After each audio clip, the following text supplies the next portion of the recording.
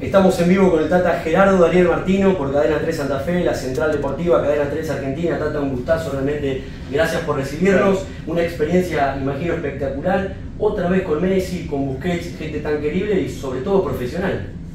Sí, la verdad que es, este, eh, genera mucha ilusión volver a estar con ellos, eh, ver lo que podemos hacer, ver hasta dónde podemos llegar. Eh, comenzar con ellos la, reconstrucción un poco del equipo, la verdad es que nos da una profunda alegría. Dirigiste en selecciones, dirigiste en un montón de clubes. Lo que valgo acá es que realmente hay una, expectativa muy grande. Hoy, lamentablemente, los puntos y la campaña no termina de acompañar, pero evidentemente que si decidiste tomarte este tiempo de pensar y de asumir es porque tenés mucha confianza en lo que vos podés dar y también en el plantel. Sí, porque bueno, además hay, si bien este es un club que hace cuatro años o cinco que está en, la MLS compitiendo y tiene un camino ya trazado, este, todo lo que fuimos hablando en estos tiempos respecto a, la manera en que podemos hacer que esto sea este, mucho mejor que lo hecho actualmente, este, se van cumpliendo, se van cumpliendo objetivos, los futbolistas van llegando algunos lesionados se van recuperando, futbolistas que estuvieron en la Copa Oro participando con sus selecciones han vuelto y bueno, todo esto nosotros lo vimos en, las primeras conversaciones y tenemos este, las expectativas de, poder revertir.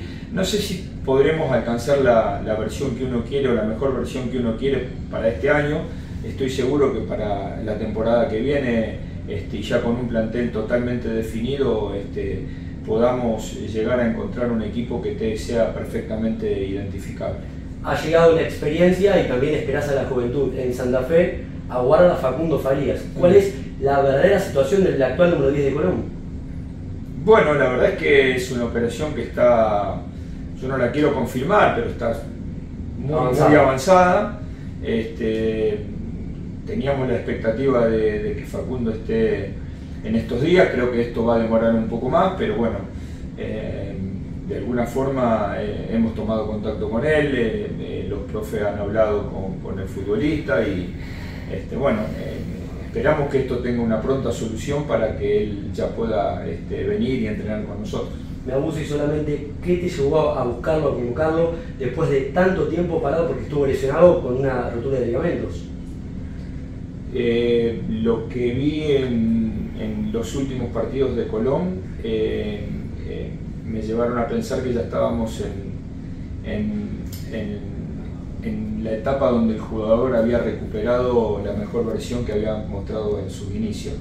Había dejado atrás la lesión y, este, y aquel partido con Central, donde hace no muchos partidos, ya muchas fechas atrás, este, me convenció de que es un futbolista este, muy interesante para tenerlo aquí incluso hasta para este, completar su evolución, porque en definitiva nuestro objetivo con, esos chicos no es que se queden 10 años en la MLS, sino que utilicen a la MLS como un lugar de, para cumplir sus sueños, pero también para terminar su formación y, poder jugar en, el fútbol europeo.